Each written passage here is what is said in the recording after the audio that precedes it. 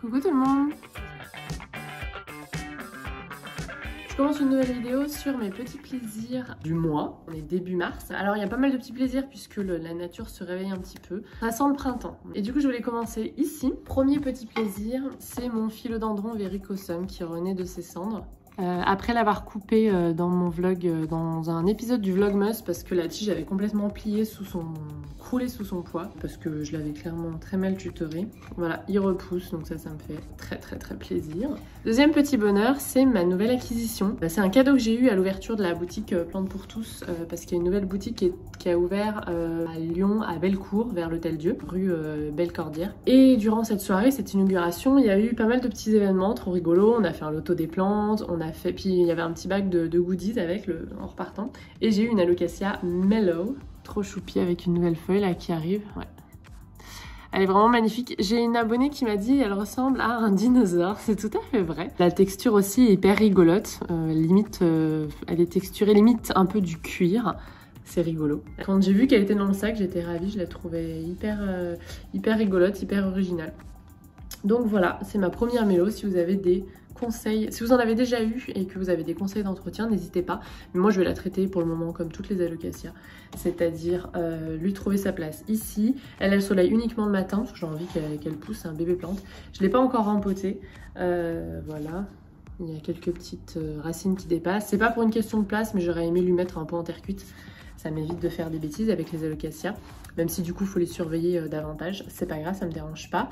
Je vais la mettre ici, j'arrête de la toucher, de la bouger, elle va euh, s'y habituer euh, tranquillement. Et j'arroserai quand le terreau sera bien sec, donc j'apprends à sous-peser mon pot, il est encore bien mouillé. Je serais bien aller voir ce qu'il y a dedans, mais je vais attendre parce que là j'ai pas de pot en terre cuite de disponible de toute façon.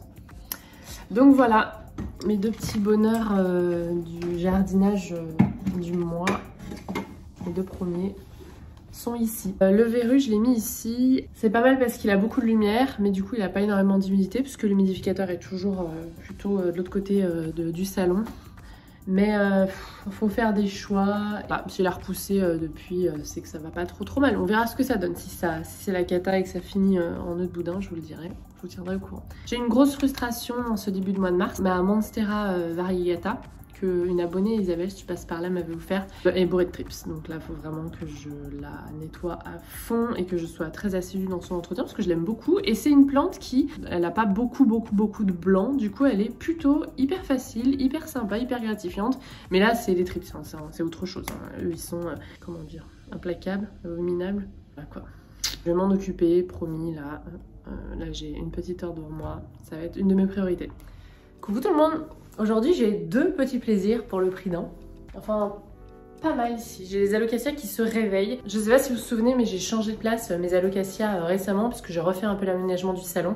Et je vous avais dit, j'ai très peur pour elles parce que je suis en train de les déplacer. Alors déjà, je les éloigne euh, de leur source de lumière. Elles étaient au nord, donc c'était déjà pas la folie. Et en plus, je les éloigne et en plus, je les change d'environnement. Du coup, j'avais très peur pour elles et en fait, il y en a pas mal qui le vivent plutôt bien. Ma Black Velvet me fait une nouvelle, euh, nouvelle feuille. Elle a grand... J'ai hyper honte de vous montrer ça, mais je vais faire quand même.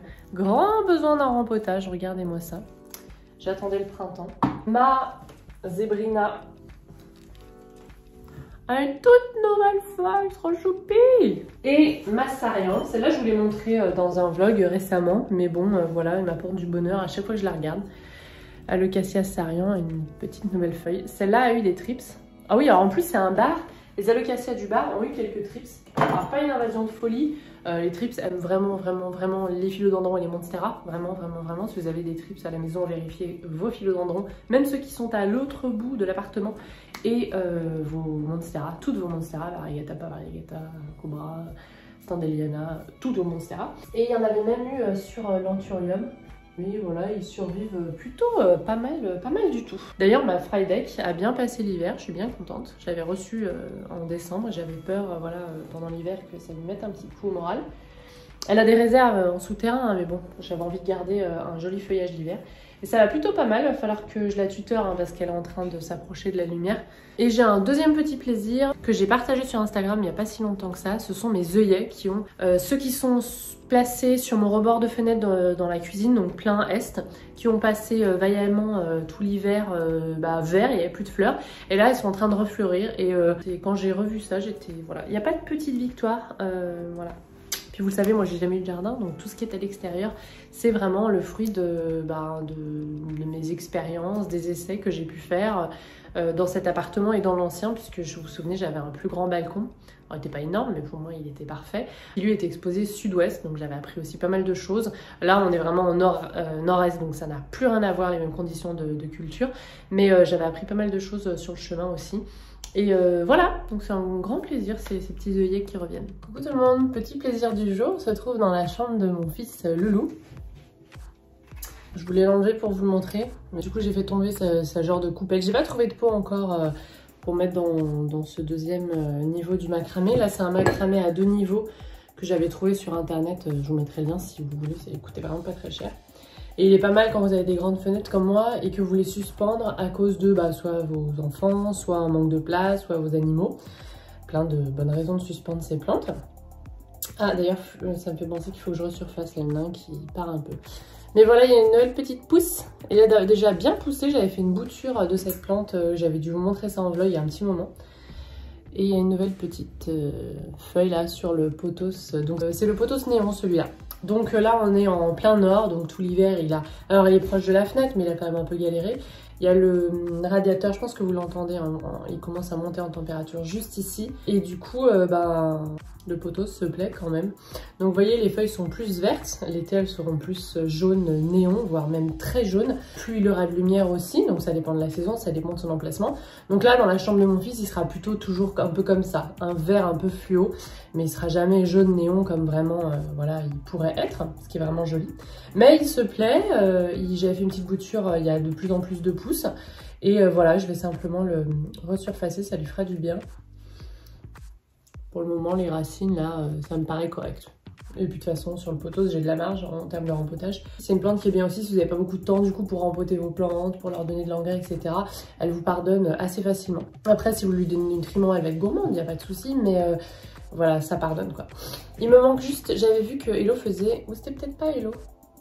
Chez Gloriette, en tout cas, j'avais vu des petits pots euh, comme ceux-là, ou peut-être les lisses, ceux-là, c'est les Hello. Euh, qui sont en plastique et donc pas trop lourds pour mettre sur le deuxième euh, niveau. Et en fait, j'ai jamais euh, pris le temps d'en acheter. Donc pour le moment, il y a une petite soucoupe comme ça. Pas... La soucoupe est jolie, mais c'est pas joli puisqu'on voit le... les pots transparents. Les pots transparents comme ça, maintenant, je les trouve aussi sur internet. Je vous mettrai ici en lien en barre d'infos en général, pour ceux qui me demandent. Ceux-là, c'est les moyens, c'est pas les tout petits. Coucou tout le monde Le petit grand plaisir du jour se trouve dans la cuisine. Ce sont mes magnifiques Oxalis que j'ai réveillé. Ah, ça doit faire la troisième semaine là, je vous avais fait ça en vlog avec vous. Et franchement, voilà, ils sont trop magnifiques. Ils sont à fond. Donc ceux-là, ils sont euh, unis. Et puis les autres là. Ça m'a demandé ce que c'était. Euh, c'est des dépôts de, sels minéraux qu'il y a dans l'eau. Hein. C'est pas grave. On peut nettoyer, hein, mais moi je m'en fiche. Euh, et ceux-là qui sont magnifiques avec un petit liseré là. Oh là là. Trop beau. Avec plein de petits nouveaux là-dessous. Bref, donc voilà, vraiment ça leur fait du bien à la dormance. Si vous voulez plus d'infos, j'ai une vidéo euh, qui est dédiée à ça. Non seulement vous allez avoir euh, un feuillage hyper fourni, avec des belles feuilles toutes neuves et vigoureuses, mais en plus vous allez avoir une floraison. Là j'ai déjà... C'est une des premières tiges à être sortie, c'était les fleurs. Vous allez avoir une floraison tout l'été, tout le printemps et même tout l'été. Et c'est vrai que la première année, j'avais pas mis en dormance l'une de mes oxalis. Elle n'a pas fatigué jusqu'à l'arrivée de... Ouais, jusqu'au printemps d'après, elle a commencé à fatiguer, mais surtout, j'avais plus de fleurs. Le foliole, de toute façon, est déjà assez fou, on dirait des petits papillons qui s'ouvrent et qui se ferment au fil de la journée et de la lumière.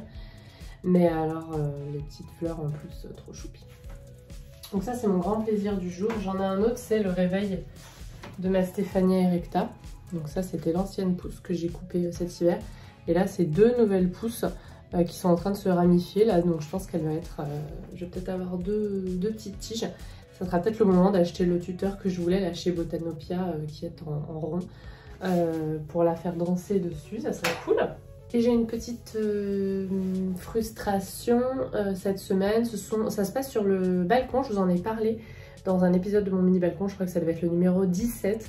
Mes camélias qui sont vraiment soit à la traîne, soit qui ne vont pas me faire de, petites fleurs cette année. J'ai même pas de petits bourgeons de, de fleurs, donc je suis un peu dégoûtée. Euh, je pense qu'ils ont été... certains d'entre vous m'ont dit ah, moi non plus, pour le moment c'est pas le cas. Sauf que moi à Lyon, à cette époque de l'année, le Ransom King il était déjà en fleurs et vraiment magnifique. Et les deux autres camélias, donc j'en ai un blanc que j'avais acheté chez l'œuf végétal à Lyon et un rose que j'avais acheté chez Gloriette à Lyon qui avaient déjà des boutons à cette période euh, et qui les ont ouverts je pense en avril. Euh, et du coup, c'est mon grand regret de cette année. Je pense qu'ils ont été euh, en stress hydrique l'été dernier parce que j'avais fait pas mal de recherches dessus. J'ai pas mal de livres sur l'extérieur dont je vous ai parlé d'ailleurs dans cet épisode de mon mini balcon. Et le camélia, ouais, l'été, faut pas qu'il soit en stress hydrique. Moi, j'avais arrêté un petit peu de l'arroser. Sinon, ouais, ça va endommager la floraison l'année d'après. Donc on verra pour l'année prochaine. Il a continué à me faire un très beau feuillage voilà, toute l'année. Et c'est vraiment une belle plante sur le balcon. Mais enfin, euh, le camélia, l'intérêt, c'est quand même les fleurs magnifiques, quoi. Mmh. Les fleurs de camélia sont juste magnifiques. Et euh, en plus, c'est une plante qui commence à fleurir voilà, pour certaines espèces dès février. Donc ça, c'est vraiment cool. Euh, ça met de la couleur sur le balcon en plein mois de février quand ça commence à vraiment être long et à tirer l'hiver. Donc ouais, c'est ma grosse frustration de l'année. Mais je pense que c'est ma faute. Parce que ouais, je... J'ai vu qu'il y a plusieurs autres raisons hein, d'un problème de, d'apparition de, fleurs, mais ça, ça en fait partie et clairement, c'est ce qui, moi, c'est ce, que, ce qui nous est arrivé, je pense. Voilà